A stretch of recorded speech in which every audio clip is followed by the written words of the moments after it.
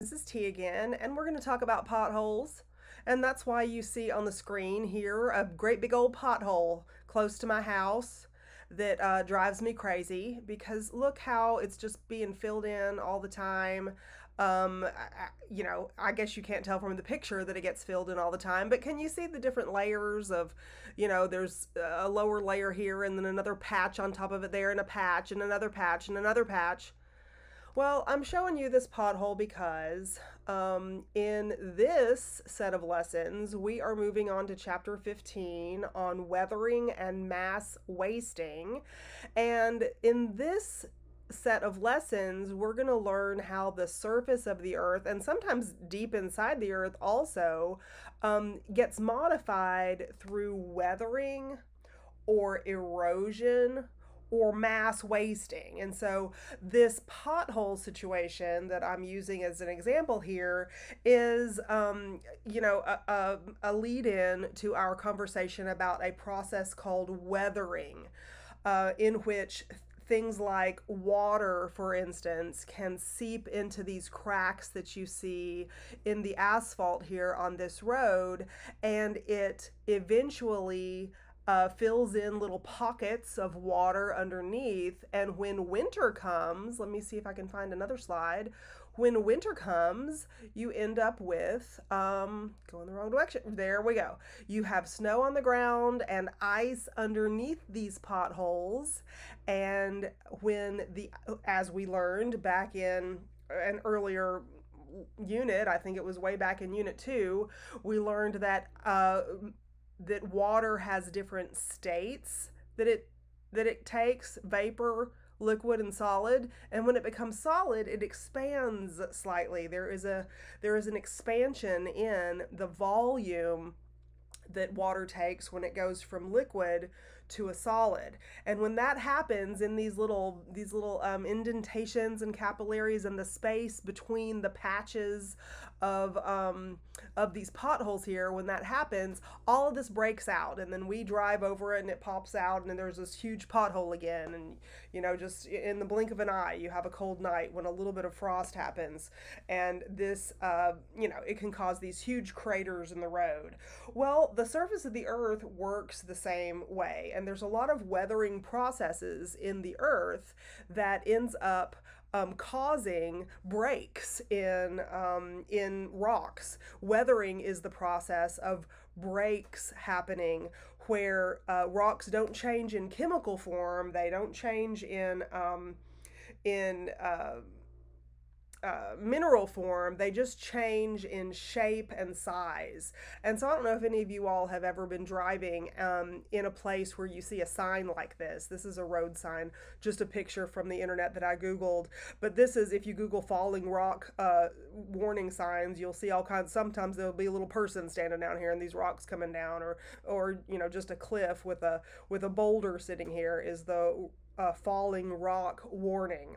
You'll see these all through the Boston Mountains if you're driving up toward Fayetteville, or you'll definitely see them in the Rockies if you're out um, if you're out in Colorado or Utah, Wyoming, these places, you'll see these kinds of signs because uh, this seeping in of water that happens in a pothole and, and freezing it, expanding it, loosening the rock, this is happening constantly all over the earth, regardless of whether we have a man made thing like asphalt on the streets. It certainly happens there, but it happens in regular rock also with little, um, little uh, tributaries, little holes, different places in the um, in the stones where water can collect, and then as it freezes, it can it, it pops, it, it can break. Uh, how many of you have ever put um, some a, a glass bottle, for instance, full of fluid, full of, of water into the freezer and let it freeze all the way? You can go back to that container, and the water sometimes has has broken it. It has popped that container. That's the same process that we're talking about here that causes things like a rock slide um, from happening.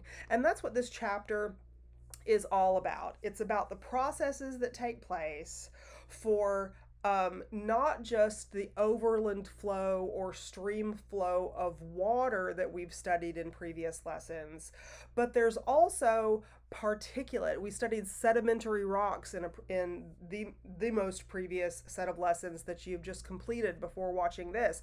And sedimentary rocks, of course, um, come are developed from the pressure and the um, the uh, temperature change, the pressure change of sediment that is deposited someplace after erosion takes place. And erosion is a process where things are removed from their original location, transported someplace else, deposited, and that deposit become you know becomes characteristic of a new place. That landmass has moved in small pieces to another area. Um, you might have heard of uh, uh, of all the silt and the um, the grasslands, the brackish waterlands at the mouth of the Mississippi. Um, it's, it's certainly, if you've ever studied um, U.S. history, you know about the difficulty that French and Spanish explorers had in trying to find the mouth of the Mississippi River anyway, because for miles and miles and miles, the Mississippi River deposits all of the tiny particulate of of dirt and tiny rocks and even animal parts and, and bones, etc., that washes down the river from the current of the water. And as it gets to the shallow land, it deposits this into the um, into the ground underneath the river. And, and the mouth of the Mississippi is very, very shallow in a lot of places, and it's definitely spread out for miles and miles and miles. And so a lot of the um, explorers, La Salle, for instance, uh, wasn't quite sure whether he ever found um, the mouth of the Mississippi on a couple of the treks when he when he tried. Um, his diaries uh, express his frustration with trying to uh, find the the great Mississippi River. So, um, erosion is part of the natural process of change that our Earth goes through. Sometimes erosion, mass wasting, and weathering are caused by um, uh, interaction with the atmosphere. A lot of water from the atmosphere interacts, and temperature changes from the atmosphere interact with the surface layers of the Earth. But also, some of the lava flows um, and some of the volcanic activity within the Earth can create internal cavities in the Earth, internal caves, or even tiny little pockets of, um, of gas or hollowed out cavities where gases or liquids can um, accumulate and they cause what we call mass wasting or weathering. And um, it changes the footprint of our earth. It changes the topography of our earth. And so we are studying this chapter to um, try and better understand how some things have changed over time. Some places on the face of the earth have changed over time because of interaction with different parts of different spheres that we study in. Um, in uh, physical geography. So the lithosphere that we've been focused on this um, this week we are going to look at how does the atmosphere and how does the hydrosphere interact with that even the biosphere um, because i have uh, another picture of some um, some weathering that uh, can occur sometimes. I did not take this picture, but how many times have you been on a sidewalk or someplace where a tree has gotten so large that the roots have changed, you know, the, the pavement around it? Tree roots can do this to the side of a mountain in the same way that it can do this to your sidewalk, to the street, to your driveway. And so this is how the biosphere can interact with the lithosphere to make changes over time. These changes are usually quite slow um, whereas you know the pothole thing can happen um, you know within one season. Something like this type of weathering um, happens much more slowly as the tree uh, grows and gravity acts on the larger and larger object and the and um, the roots spread. Wherever the roots have space to spread into little tiny cracks and down the sides of a cliff or something And so um, you probably have made many, many observations about this kind of thing um, in your life, and it is part of the physical geography processes that we're studying in this particular chapter a couple of things that I want to show you. I think I showed you this sinkhole picture just a moment ago. I was clicking on stuff and clicked on this one before I was ready to talk about it.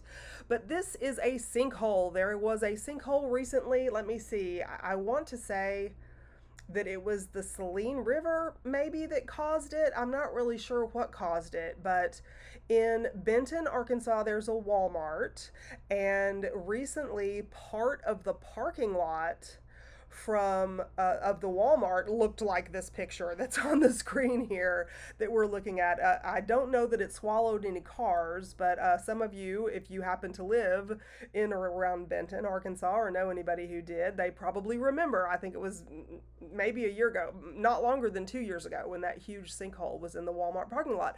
And there's all kinds of little tributaries and streams, sub you know subterranean uh, tributaries and streams, I believe, of the Saline River or Hurricane Creek creek or something that's over there in that area that uh, that the um, geologists who worked with the highway department and worked with the engineers to fill it in and repair that spot, they uh, learned that it was the groundwater flow that um, had caused the sinkhole in that case.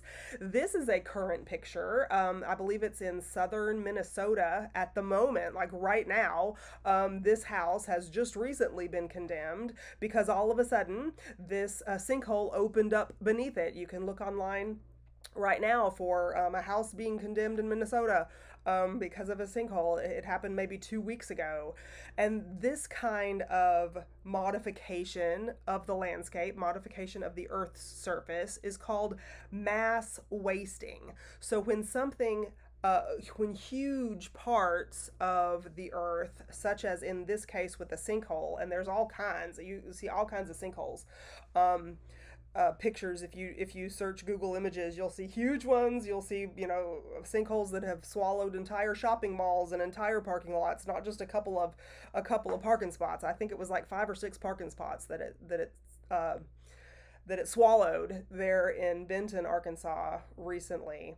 Um, but you see, oh yes, this is uh, another example of it's not a sinkhole, this is a landslide, which is another example of mass wasting where huge parts of the earth are either well swallowed in the in the sinkhole example or collapse because of weathering issues and this is I think only about four months old. I want to say that um, I don't know how many of you have been to Wyoming or been around, been in the Grand Tetons, but this is the Grand Teton Pass in Wyoming, a picture from the Wyoming Transportation Department.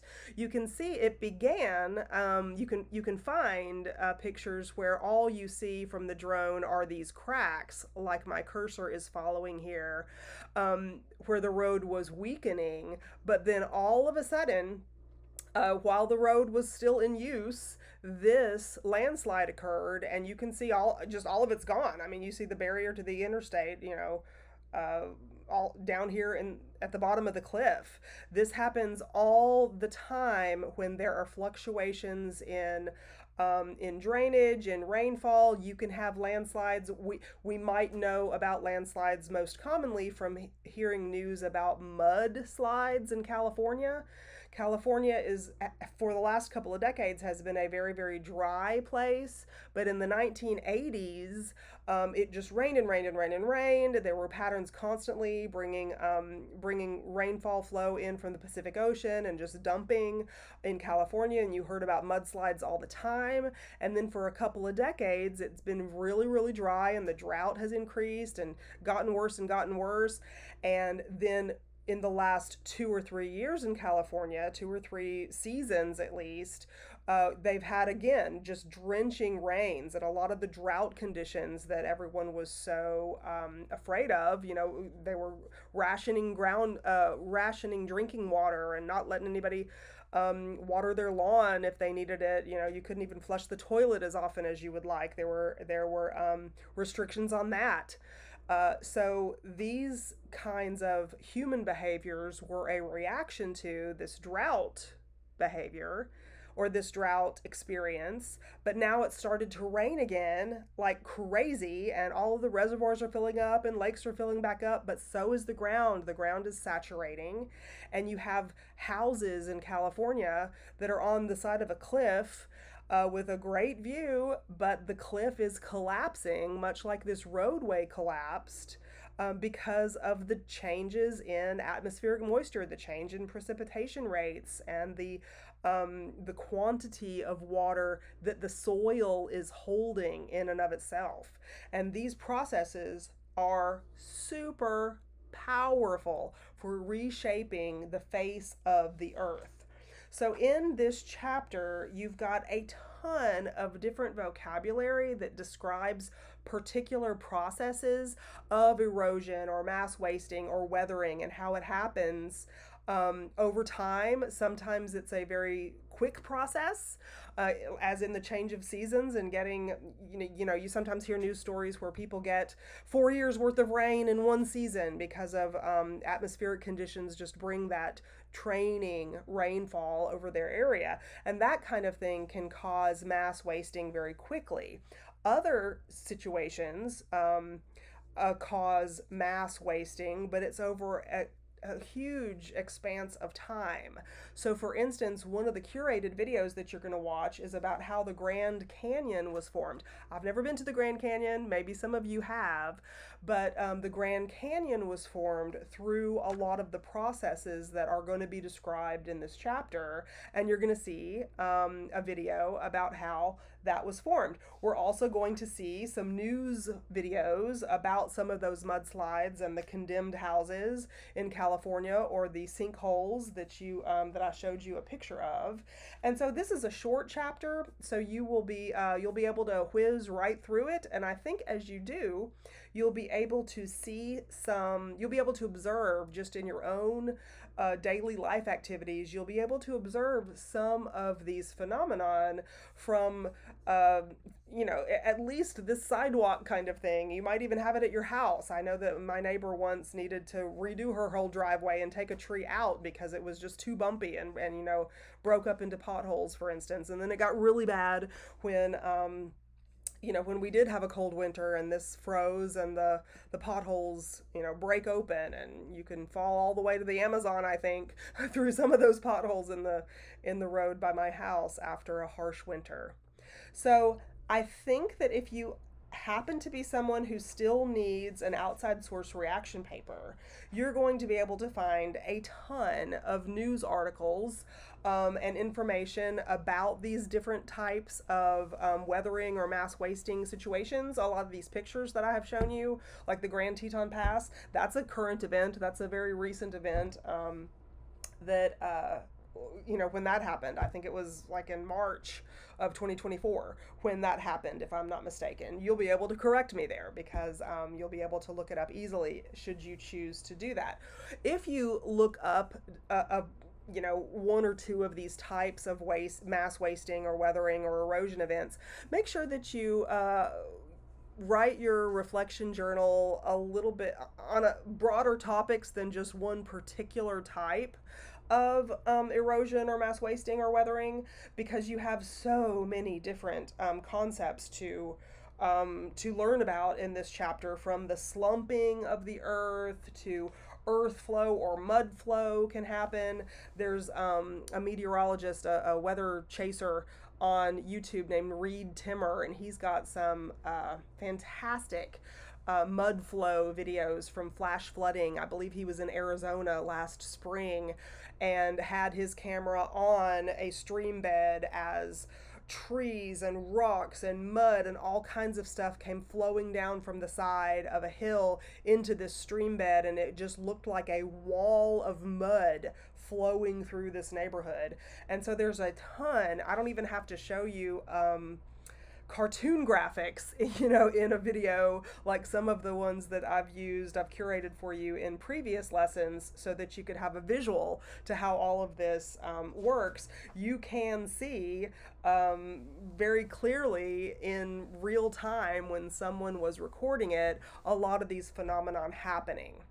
So I think that this is um, going to be an interesting, maybe personalized um, set of lessons for you since you can find uh, some of this information that you know has affected you your family or your neighborhood for instance um, in the past. If you're going into architecture or engineering or urban planning or um, any sort of um, you know parks and recreation all these different kinds of things you will have to know about these kinds of processes and what the what the hazards and the risks are for um, the area where you live and work so I hope that you will text me with questions, and I look forward to reading your um, reaction papers about this. And we're close to the end of the semester, so I hope that you um, don't stress yourself out too much. Let me know if there's anything I can do for you.